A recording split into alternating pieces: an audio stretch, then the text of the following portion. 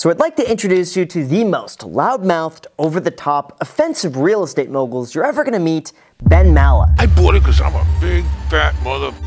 What about your business? That's what you worry about. He is your true rags to riches story, having grown up in an abusive household in the projects of Queens, New York without any formal education. Yet despite that, he's been able to build a real estate empire now worth $500 million. And today we'll be able to see a day in the life as we follow him around and watch exactly how he builds his wealth year after year. Viewer discretion is advised. We're going to work, baby. We're going to go out and do some real estate management.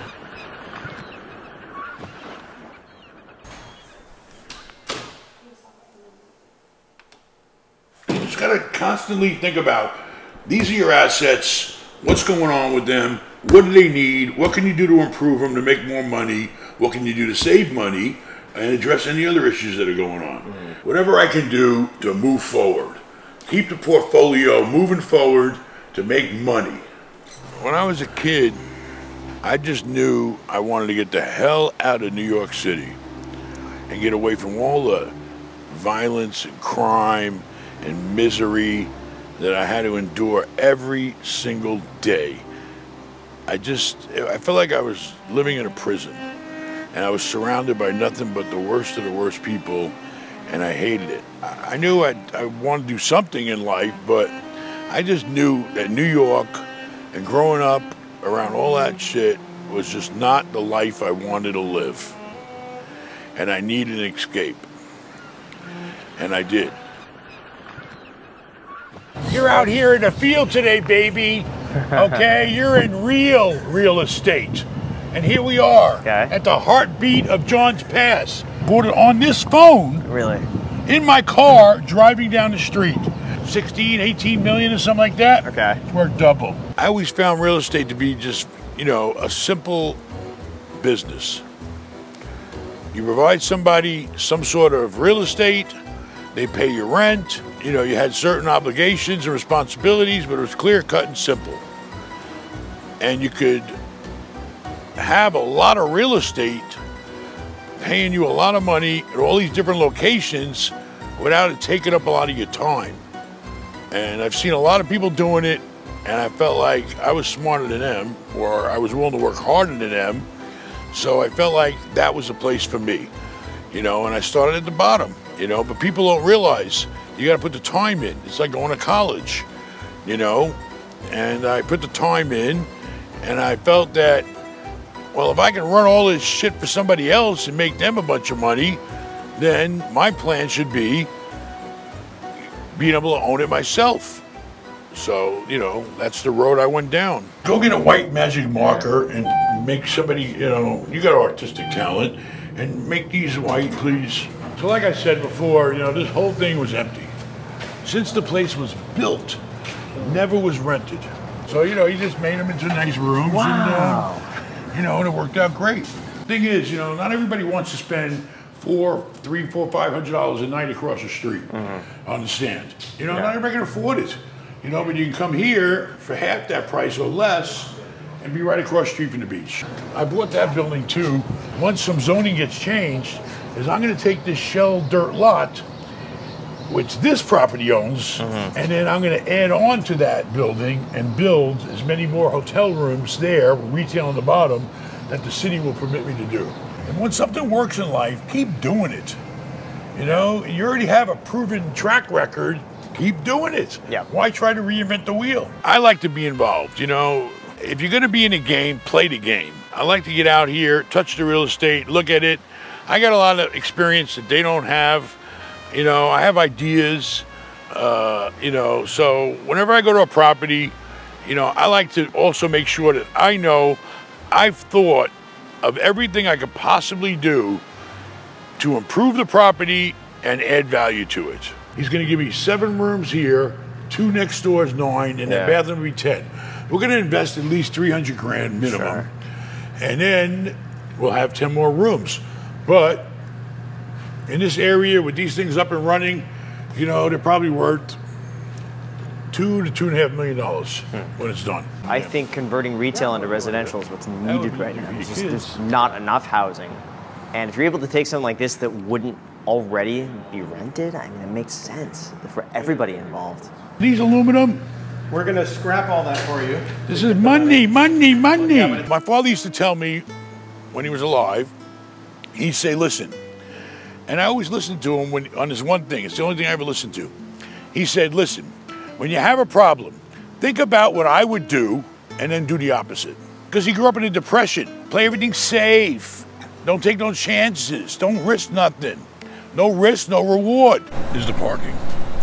Okay, parking is big money, especially in a major tourist location. So, you know, that brings in most of our profit right there because parking garage is very low maintenance. Yeah, Hooters a tenant. Yeah. The boat's a tenant. We got fishing boats Wow. are parked here. They're taking people out on fishing tours. We got dolphin tours. We've got, uh, you know, all kinds of stuff going on. The boardwalk itself, look at that giant dolphin that just popped up over there. See him? Look. My first property was um, 20% down on a really rough place. I mean, it was like a boarded up crack house. To have one unit below, one unit above, the place was boarded up. Nobody wanted nothing to do with it. And um, I went to a hard money guy. Uh, I put 20% down. He floated me the rest of the money. I closed the deal. Did everything I could to get resources together to fix the place up. We'd spend it as little as much as money as much as possible. Once I had a track record, the hard money guy would start loaning me more money to fix them up too. He would give me like three loans on the same property from start to finish. So he made money, I made money, and it all worked out. And I just kept buying up all this shit nobody else wanted. All the places that just sat dormant on the courthouse steps nobody would bid on.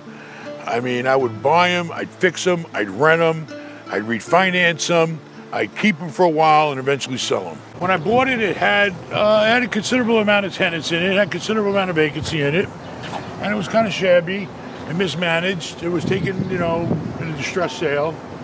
So we came in and we just got our hands dirty. Get in there, start tweaking stuff, managing it better, uh, looking at the expenses, re-renting the units, converting space to hotel rooms, doing everything we can to add value to it, to increase the NOI. How are you? How are you? Yogurt City, baby. Yogurt City. Home of the crazy chickens. Chicken look like it's been around the world. We even have the mini chickens now. Bok, bok, bok. You know, I like to know my tenants, you know, and let them know I want to work with them. So these people came here. They already were here when I bought the place. They're kind of struggling a little. Yeah. I told them I'd even pay for it. and It looks like they had it done. Put in a window on the sidewalk. You can surf in the street. Ah. Okay? What would it cost me a few hundred bucks, big deal. Yeah. Anyway, the people were doing this business started picking up. I was encouraging them to do certain things here, put some furniture outside. Everything was going good. I said, you know, we're doing pretty good now. We think about opening up another location. Great. I got a spot for you in my other shopping center. What'd they do? They took whatever money they had put together. They went over my shopping center. They leased the space. They built it out. They're growing. I'm growing. You know, it's good when you can work with people, okay, for the for the same purpose, for everybody to benefit. We're out here managing our assets. Never get built on the beach. You build on the beach because the cost of the value of the property versus the, co- the cost of construction is just, you know, you make a fortune. Primarily, all the money I made was always came through a refinance. I would never touch the money from a sale. Every time I did a transaction, I would 1031 to another transaction, defer the gains, buy the property, then stabilize the property, and then refinance the property, and then take that money, put it in my pocket. I bought hotels, you know, for 18, 20 million bucks. But I got loans on them for 25 to 30. So I've already, you know, done refinances where I've made money on properties, you know, without selling them. And borrowing money from the bank is a non-taxable event. Welcome to Treasure Bay Resort and Marina. We bought this property about a couple of months ago, and we're here making improvements every day. What's unique about this property is that you got the a beach across the street. That's actually a public beach, so it's easy access to everybody. In the back, we have a boat club where you can come and rent a boat and cruise around the you know the Gulf and the Intercoastal. So it's got front and it's got back. Water front, water back. The guy that does the boat rentals was actually utilizing a room. A room. The room was worth quarter million dollars. So we came up with a solution. That's his office. Ah, wow. We're even pumping AC in there for him. So we got a quarter million dollar room now back in our possession, and we probably spent about 10 grand doing this. I mean, I'm always looking for a deal. Every morning I wake up, I got a few hundred emails of stuff that's for sale in the market all over the country, and I delete 90% of it, and then I gotta get on the phone, and I gotta start making offers, and I gotta start doing due diligence. Right now, there's three different buildings in a package I wanna go look at, all over, you know, throughout the state.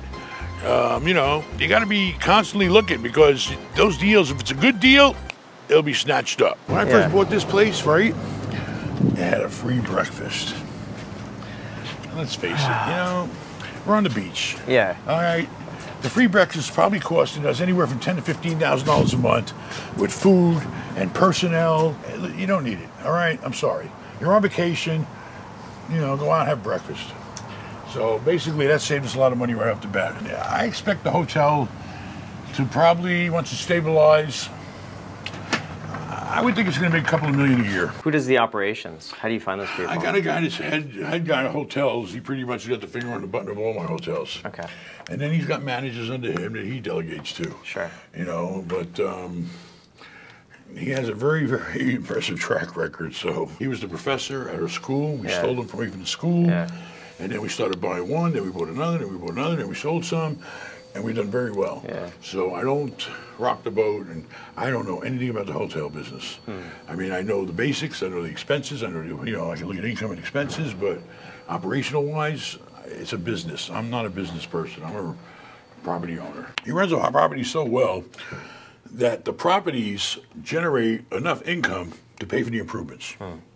I don't get a cash flow, but I got to come out the pocket to fix them up. Sure. Fine with me. Got it. Then when they're done being fixed up by the property's income, then we're in the gravy zone. Got it. I mean, you know, every property is different. You got to look at that property and say, what can I do to make this a better place and make more money? That's what you got to do, no matter what type of property it is. So every unit's identical here. There's no difference in any unit. Except some have a king bed, some have a double beds. And they all have this little mini kitchen with a fridge, a microwave, a sink, coffee maker, just like you like. You Nice, can I make your love iced coffee this. here. Tell her a closet door needs repair. It's gonna fall on somebody. Mentally, I don't think I could do it. There's so much, so many moving parts and something like this, and it's a real like people business. You own a business that comes with the real estate. So I think it's way more challenging. I mean, I didn't make it totally on my own. I had to work for other people and learn the business and how to manage their assets so one day I could own assets. well, people don't realize that when you work for somebody else, you got to make that person feel like they can't live without you. You got to get it right in the palm of your hand. Because once you do that, you got to make that transition from worker to partner. That's what I did. And then you're set because now you're in the driver's seat right there with them. Except you have all that financial backing to go with it so you can help them grow. The guy that I worked for, he never would have grown to the level that uh, we grew together. He grew to this huge level of owning, you know, whatever it was, thousands of apartments at the time because I was the one out there and I was motivated and I was finding deals and I was buying deals with him and fixing them up. And, and you know, he was included but I was the driving force. You know, he was the car, but I was the driver. Now we're over here at the retail part of the portfolio. Okay. This is one of our retail centers. We've got great triple net tenants here. Discount stores are doing very well. The big department stores are getting hit, malls are getting hit, but typically the people that shop in these type of stores don't shop online. They're looking for a discount, they're looking for a bargain, and these stores happen to be doing really well. Now, I was doing a lot better when my rates were lower. You know, my cash flow has gone down because my rates went up. I didn't fix my rate. But, you know, it's still a, definitely a strong, solid asset. You know, it's one of maybe seven or eight that we own. You know, pretty much these houses are great as long as you maintain them, keep them looking good, keep them clean. I mean, you know, my income has gone way, way down, probably by about, you know, six million a year because of the interest rates. I didn't fix my rate. Now I'm subject to the raise in the Fed. The Feds keep raising the rates. And what am I going to do? So every day I'm trying to figure out ways to deal with the situation, how to improve cash flow. Now I'm going to start looking seriously at a lot of assets that don't make a lot of sense at today's interest rate and think about selling them. But then I have to look at my tax ramifications on that. If I don't 1031, are there deals out there to 1031 in? It's a juggling act. So right now I'm juggling. It's like a circus and I'm the juggler. There she is, baby. Street legal, ready to rock and roll. This is what Graham Stephan should be driving. Oh my gosh. And this thing runs like a top. It, it, it's it's it, it, engine, trainee, brakes. The guy who built it did, and shoots the fire. The machine guns come up and shoot. Wow. I mean, it's loaded. It's perfect. I mean, I don't like to waste money. No, it's stupid to waste money. I mean, if you enjoy something that gives you pleasure in life and you want to spend the money, you do it. But you have to live within your means. You know, everybody needs a budget. Even I need a budget. I fired my landscaper and ripped out all the goddamn grass, put fake grass in. I saved a couple of grand a month that guy was billing me for. It could be yours right now for only asking 299,000. There's one on Hemmings right now for 750,000. Look it up. For you, 250. Yeah, 250. I mean, I like toys, I like stuff, but right now I'm just, I'm getting too old. You know, I just sold my Rolls for close to 400 grand. I mean, the Batmobile's worth, I'd sell that for a quarter million. The Bob Hope car, I'd sell for a quarter million. Um, you know, I've had it up in the millions at one time. I just sold the water car for about a buck fifty. Listen, I'm 57 years old now. These things are nice. I bought and sold cars. I couldn't count the number of cars I bought and sold. It's fun. I did charity work with them. But right now, my mind is focused on financial stability. Because when you got money, typically money can solve all your problems. So I don't need all this stuff anymore. I don't want the responsibility. After so many years, you get tired of worrying about stuff. You know, I'm not a real big hobbyist. And, uh, you know, I'd rather just liquidate what I don't need, start simplifying my life. I need to get my life in order, get rid of all the stuff I don't need, you know, and start thinking about a retirement. All right, we're here. Why? Because we're showing Mr. Stephan his new home. At the height of the market, this house is worth every bit of a thousand bucks a square foot, which would make it price to twelve million dollars. Yeah. Today, you Yeah. can buy it for thirty percent less. Now that the rates are double or triple, it doesn't make a lot of sense. It's a very tough market right now. You got to work very hard to find a deal. People haven't swallowed the fact that their property is not worth what it was a year ago. Simple as that. The seller's got to realize that. Me as a seller, I have to realize it. You know, it's a hard thing to swallow. But, you know, right now we're in this weird zone right now, you know, where the numbers don't work, the numbers don't make sense. But if you're in a 1031 and you can have millions of dollars worth of taxable deferment, it makes sense to you. The lot is probably one of the biggest lots you're going to find on this waterfront. Oh my gosh, look at this. Ready to go. Fireplace, hurricane shutters on every Yeah. window that could be affected by a hurricane. Whoa. Here's your office. Comes with a fireplace, built-in Oh, wow. library shelves, your own private bathroom here, your kitchen, your family room, your dining, uh, you got another dining area space over there. Look at this. They they matched, Fireplaces. they matched the paint with this to try to hide it. Smart. Why'd you buy the house in the You first know, place? I was honestly, at the time that I bought it, the market was super hot. There was a lot of people moving down in this area. It's a very unique property. There's no other property around like this. Mm-hmm. And I really liked the house. I thought there was some value if I came in and made it more livable. And basically what happened is the interest rates went up and it killed the market. Simple story. You know, we're not gonna make the money we anticipated on it, but that's life. Every asset is different. I gotta look at each asset, what's it worth, what can I sell it for, how much cash flow am I getting, if I sell it, I'm gonna have to go out and replace it, or what's the tax ramifications gonna be. So there's a lot of moving parts to it. You know, the biggest thing with me is I should have realized, listen, I'll pay an extra point now for the interest rate and for the hundreds of millions of dollars that I owe, but paying an extra point now is better than paying an extra three points later. You know, the party was going on and I didn't know when the party was going to be over. And here we are. For the first time in my life, I'm actually thinking about buying down debt, which I've never done in my life. I've always been a big advocate for taking on debt because the rate was low and it made a lot of sense to get a return making money on the bank's money. Well, we're not making money on the bank's money anymore. The returns are equal to the payments you're making to the bank. So basically, you're getting a modest return on the money you have invested. This is like living in heaven. When you live, when you work here and live here, it's like being on vacation all the time. You want to take the elevator? Come Sure. on in. All right. Do you think money could buy happiness? Yes. I mean, you know, it makes your life easier. You're not on this earth for that long. You want to live as happy and as easy as you can. And if you like nicer things in life, money's going to get them for you. I mean, so yeah, I believe money can buy happiness. Look at this. You want to reach your clothes? Oh, wow.